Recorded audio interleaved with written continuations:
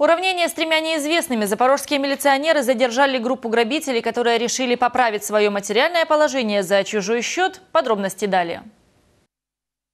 Сигнал по 102 поступил в дежурную часть около 10 вечера. Правоохранителям сообщили, в подъезде одного из домов по улице Правды трое парней избили и ограбили мужчину. Наряды БПС были ориентированы на поиск преступников. Возле дома номер 21 по улице 12 апреля обратили внимание на троих неизвестных, вот, которые, э, увидев наряд, э, попытались скрыться, после чего были остановлены.